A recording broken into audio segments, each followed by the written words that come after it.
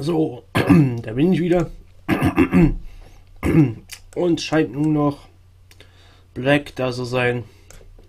Oder Bibbe hat sich. Oder Bibbe ist halt gerade so inaktiv, dass er nicht auf, aufgelistet wird. ja, da bin ich wieder. So, wir.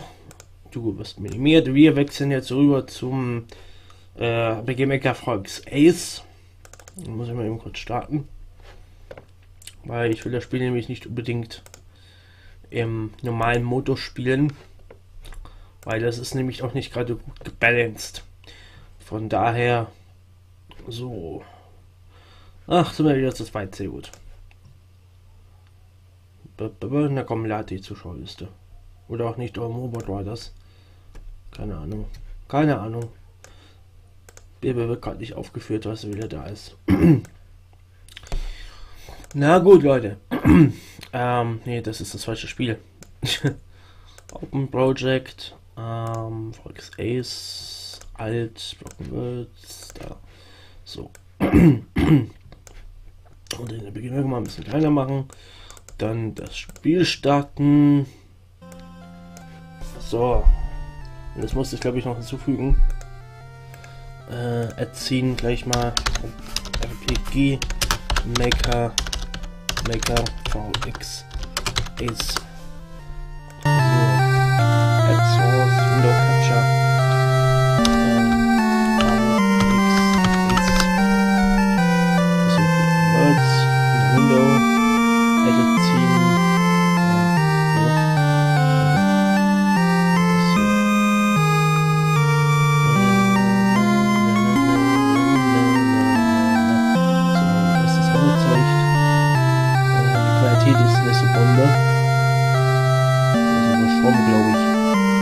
VX ist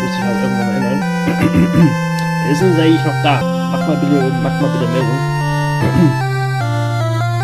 Weil keine Reaktion kam von wegen, ja, ich bin ein kleines wieder da, juhu, wir tanzen Schwabander im Dreieck oder so. Wenn wir sehen, ob es überhaupt noch da ist. Nach der Pause.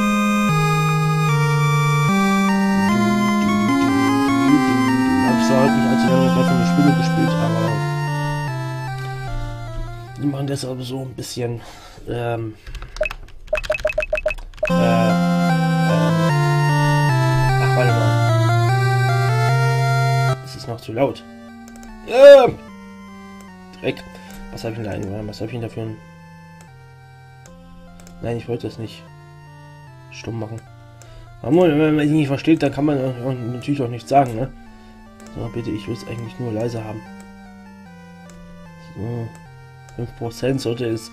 Er soll damit mich auch wieder verstehen können. Ich habe gefragt, wer ist denn eigentlich noch da?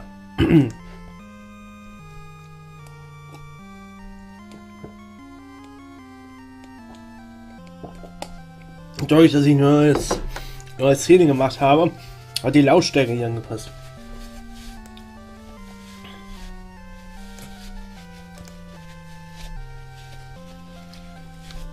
Also Black müsste eigentlich noch da sein, wenn er sich meldet.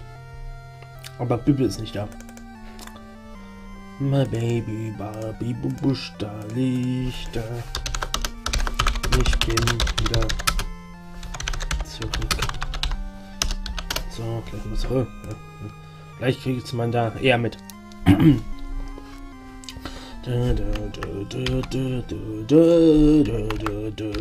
Ich habe irgendwas. Ja, ich habe hier noch ein Spielstand. Also, ähm, ich glaube, das müsste sogar der sein, der... Ich glaube, das ist so der neueste, oder? 5,5 Stunden, das Spiel war doch länger. Keine Ahnung. Mu, ach, da bist du wieder. Baby, Baby. Gut. Ähm. So, okay. Ah. Ja, sehr gut. Da sind wir ja wieder alle. Ja, so. Broken Roads. Das ist mein eigenes Spiel, in dem ich schon seit 2007 oder so arbeite. Also ähm, momentan arbeite ich nicht dran, weil ich habe zwar eine Demo fertiggestellt, aber da war das Problem, dass sich kein Schwein für, für den Beta-Test gemeldet hat, da das Spiel sowieso nur so Mittelmaß ist Höchstens, vielleicht sogar ein bisschen schlechter, weil ich kein guter RPG-Maker bin. Allem da am Anfang merkt man das, das ist der Anfang von noch von, keine Ahnung, 2011, 10 oder sowas. Ich habe sehr lange gebraucht, bis ich das überhaupt mal großartig äh, Demo-reif gemacht habe. Mein RPG hat einen coolen Anfang. Ja, das kann man selber am wenigsten beurteilen, weil ich finde das Spiel gar nicht so schlecht. Andere sagen, das Spiel ist totaler Rotz. Unter anderem zum Beispiel Mr. Prinz, der das mal angespielt hatte. Nun ich würde mal sagen, wir fangen mal an und lasst das Spiel einfach mal auf euch wirken. Allein schon Anfang ist, naja. Du solltest jetzt wirklich schlafen, Junge. Morgen wird ein anstrengender Tag. Denn das ist nämlich schon eine übel schlechte Anspielung. Erzählst du mir wenigstens noch eine Geschichte? Lies doch mal ein Buch. Ich bin selber müde und werde jetzt schlafen gehen. Ach, Menno. Na gut. Schlaf gut, mein Junge. Du auch, Großvater. Ja, lang der Anfang ist schon, ähm, ja. Das ist übrigens alles MP3-Musik. Ich hatte eigentlich ursprünglich geplant, MIDI-Musik zu benutzen. Ähm, da war aber das Problem,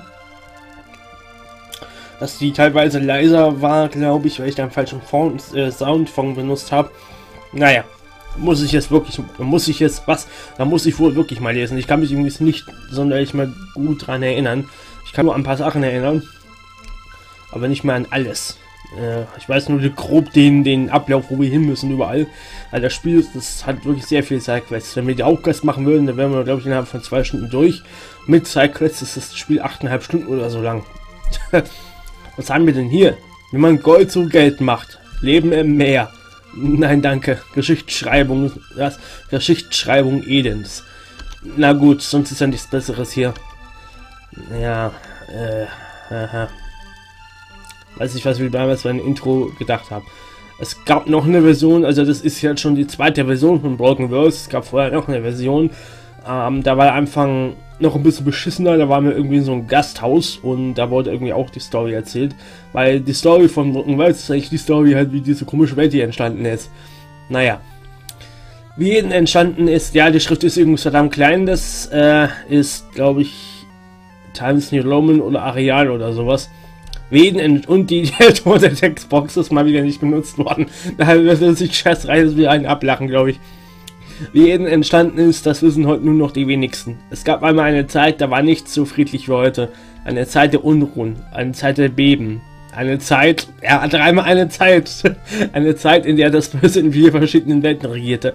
Der Weltenumbruch. Äh, ja. Altstück.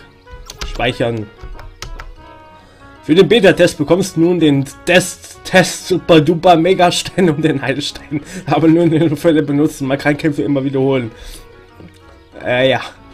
Das ist wirklich nett von dir, Mario, dass du mich begleitest. Ja, man merkt, das ist keine fertige Demo-Version. Das ist noch die Beta-Test-Version. Ich kenne übrigens Mario nicht. Ich kann ja einen italienischen Akzent. Das mache ich doch gerne. Außerdem verhindere ich so, dass sich jemand nun entführt. Das klingt ja wie so ein italienischer Mafiosi oder so. Na gut. Ach, Mario, ich kann mir dafür wohl immer noch am wenigsten. Stellchen, lacht Stellchen, ja. ich könnte gemein sein und sagen, dass du unfähig bist, aber das mache ich nicht. Und könnte dich da mit, mit, äh, mit Beton an den Füßen in diesen Teich da schmeißen.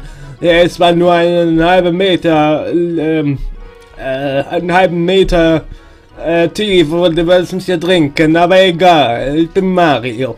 Mario, also wirklich. Na komm, lass uns weitergehen bis Knospenstadt ist es noch ein leichter Weg, Prinzessin. Na gut, auf geht's. Epische Musik! Peach, bekleide dich nun. Hinweis. Du kannst Gegner mit der Zauberanalyse analysieren. Ach nee! Und Steine äh, fallen ins Wasser, wenn man sich hineinwirft. Zudem kann man mit Shift rennen. Außerdem können manche Türen, mit dem manche Türen nur mit den Aktionsknopf eben benutzt werden. Dies ist besonders der Fall, wenn der Raum immer wieder immer verlassen wird. Was? Dies ist besonders der Fall, wenn der Raum immer verlassen werden würde. Tuten tun, wenn die Tür automatisch bei drüberlaufen benutzt werden würde. Ja, äh, schön. so, das ist das Menü und es ist verdammt nochmal groß. Mario, Knippner Level 1, Peach Prinzessin Level 1, AP, MP, Level Up, Items, okay, Item Waffe Rüstung, Items. Weltkampfschlüssel-Item alle. Alle. Geiler Pilz, die niedrigste Form der heiligen Stelle der Kästchen-Pilzwelt. ähm, das, ist, das ist übrigens wegen der Schriftart, weil diese Schriftart die Leerzeichen irgendwie darstellt. Ich habe keine Ahnung wieso. Abheilung bis 15%, das ist ja wirklich viel. Nicht.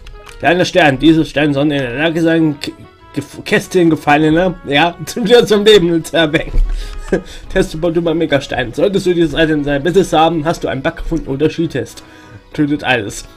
Das ist dieser Satz, der, der erste, der ist irgendwie so eine Anspielung an Final Fantasy 2, weil da gibt es den, ich glaube, der hieß Killerbogen oder sowas. Und wenn man den sich ins Inventar schiebt, weil das ein Dummy-Item ist, steht da genau das, bloß halt auf, auf, naja, auf Englisch oder auf Deutsch, je nachdem, welche Version man hat.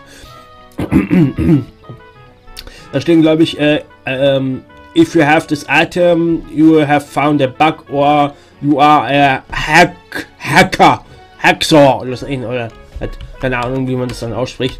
Hallstein, halt alles. Ja, ähm, das Spiel, die Belang, das Balance ist nämlich etwas, naja, und jetzt hier, ja, 1, 2, 3, 4, 5, 6, 7, 8, 9, 9 Waffenarten, Marios Waffen, Agumons Waffen, Gabumons Waffen, Nintens Waffen, Satoshis Waffen, Peach's Waffen, Waffen für alle. Ist Waffen. Alle. Ja, Rüstung hier dasselbe. Äh, bloß, dass es noch Accessoires gibt und Schilde. Ja, das Spiel ist übrigens, ja, das Spiel ist übrigens, äh, wie nennt man das? Äh, Crossover. Crossover zwischen mh, Super Mario Pokémon, Digimon und Mother 1. Also Mother, allgemein Mother. Nicht nur Mother 1, soll später auch zum Beispiel Gigas sollte vorkommen eigentlich. So, Fertigkeiten, was haben wir denn alles? haben wir auch schon Marios Fähigkeiten, Fähigkeiten von Büchern, also zwei Fähigkeiten, Rüstungsfähigkeiten Waffenfähigkeiten. Marios Fähigkeiten, Schutz 2, macht Mario für 5 Runden unbesiegbar. Super Schlag, schlägt einen Gegner mit voller Wucht ja, diese Beschreibung. Fähigkeit, Tiefschall. Spielt eine Fähigkeit von einem Gegner. Ja. Ähm, Moment mal, ich kann ja mal kurz eben sichern. Da muss ich das halt erst noch, noch einstellen, aber scheiß drauf jetzt. Mal eben kurz